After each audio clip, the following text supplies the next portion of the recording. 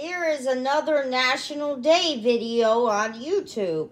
The National Day is National That Sucks Day on April 15th.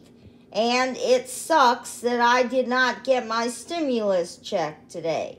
It sucks that when I purchased $8 a month of IPTV service that I tried to log in with my credentials and it didn't work.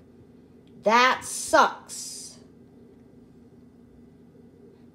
Hit the big red button and subscribe.